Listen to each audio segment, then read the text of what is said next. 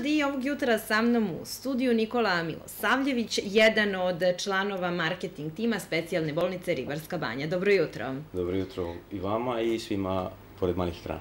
Eto, možemo li da možda krenemo od toga kako je specijalna bolnica Ribarska banja radila tokom trajanja vanrednog stanja? Pa tokom trajanja vanrednog stanja specijalna bolnica nije radila. Na početku vanrednog stanja imali smo jedan mali broj pacijenata, pa smo tendencijom, znači kako se, kako se ulazilo sve dublje u vanredno stanje, mi taj broj smanjili i iskoristili taj period za zatvaranje znači kompletnog stacionara, za dezinfikovanje znači svih objekata, za pripremu za ne daj Bože, kao što smo čuli na televiziji, COVID centara, znači da budemo jedan od e, prijemnih e, bolnica za zaražene e, COVID-19. Naravno, to se nije desilo na svu sreću i danas smo se vratili, tačnije 12. maja, normalnim aktivnostima i radimo po nalogu ministarstva sa pacijentima. Eto, kakvi su propisi sada kada ste počeli da radite? Pa evo, sada pratimo, kao što sam kazao, upute znači, naših nadležnih organa.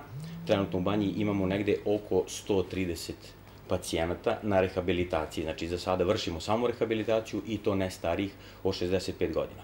Tu su, naravno, kao što sam naglasio, dezinfekcijona sredstva, dezobarijere na ulasku, termovizor, znači jedan najsavremeniji uređaj za beskontaktno merenje temperature svih zaposlenih e, pacijenata, svih oni koji uđu u banju, znači da li to brza pošta, dostavna vozila, znači moraju da prođu tu jednu proceduru, naravno obavezno su maske, zaštitna sredstva, svaki pacijent ima dve grupe pregleda, jednu kod interniste, pa ako se utvrdi da je sve u redu, znači kod te prve grupe pregleda, šalje se na dalju obradu kod fizijatra i na dalju rehabilitaciju.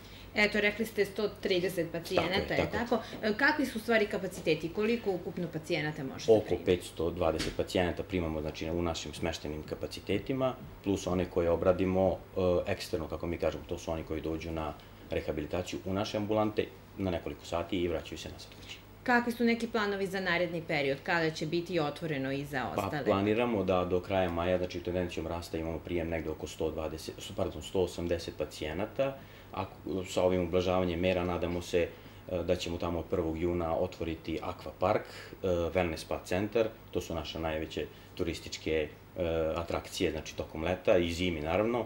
Od utorka otvaramo, tačnije 26. maja, da, utorak, etno vodenicu u mestu Srndalje, pa ako voli domaću hranu, domaću kuhinju, lepu prirodu može to da posjeti tamo. Eto, znači, pored te usluge koje pružate kada je zdravstvo u pitanju, pomenuli ste da je Ribarska banja jedan turistički centar, vi ste i u sistemu vouchera, tako ali je, tako? Eto, tako možemo je. li da čujemo nešto malo više pa, o tome? Znamo da je Republika Srbija pro, prošle nedelje odobrila 400.000 vouchera i sada radimo na tome, znači, pacijenti su zainteresovani da rezervišu što pre mesto, traži se mesto više kako bi omogućili korišćenje vouchera, kako bi mi poslali znači, potvrdu da oni mogu da imaju smeštaj kod nas i da mogu da iskoriste te vouchere.